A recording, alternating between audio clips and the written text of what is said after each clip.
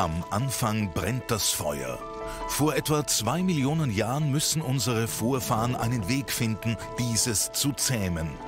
Sie kennen es als Wildfeuer, ausgelöst beispielsweise durch einen Blitzeinschlag.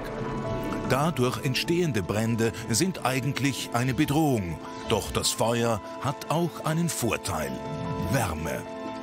Um diese zu nutzen, müssen die Urmenschen lernen, Feuer kontrolliert zu erzeugen, zum Beispiel mit Feuerstein und Zunder.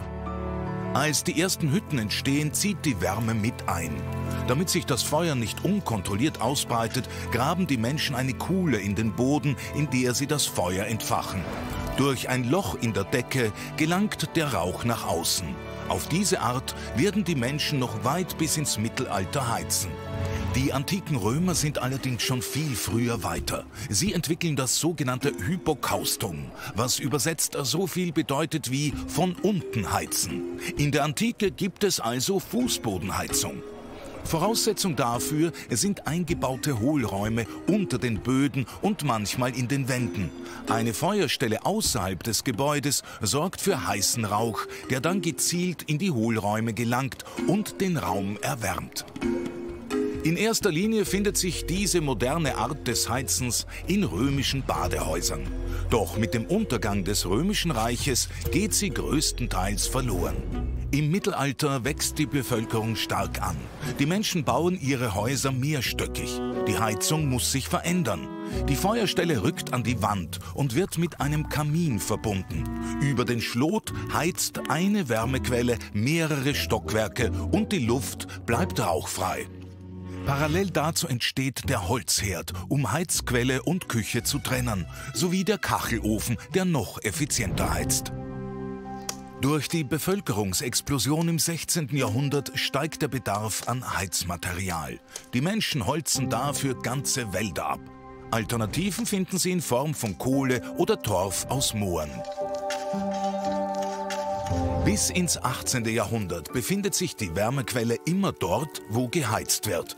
Erst 1716 kommt der Schwede Morten Triwald auf die rettende Idee. Was, wenn man mit Feuer Wasser erhitzt und mit dem warmen Wasser den Raum beheizt? Das ist die Geburtsstunde der Zentralheizung, die häufig jedoch nur Reiche nutzen. Die meisten können sich nur den günstigen Kohleofen leisten. Erst die Zerstörungen im Zweiten Weltkrieg sorgen für ein Umdenken. Die Menschen müssen Häuser neu aufbauen, Holz und Kohle sind durch den Krieg rar. Zentralheizungen direkt einzubauen wird rentabel. Die Menschen erschließen neue Energiequellen wie Öl und Gas. Fast 30 Jahre lang beziehen westliche Länder diese Rohstoffe günstig von arabischen Exporteuren bis zur Ölkrise 1973. Ausgelöst durch Krieg im Nahen Osten steigen die Öl- und Gaspreise um das Vierfache. Der Westen ist gezwungen, alternative Heizmöglichkeiten zu finden. Davon profitiert besonders die Solartechnik. Dass man durch Sonnenlicht Strom erzeugen kann, ist zwar seit dem 19. Jahrhundert bekannt, doch erst die Preisexplosion von Gas und Öl treibt diese Technologie voran. In den Folgejahrzehnten soll Heizen energieeffizienter werden. Wärmepumpen oder das Heizen mit Holzpellets gewinnen an Bedeutung.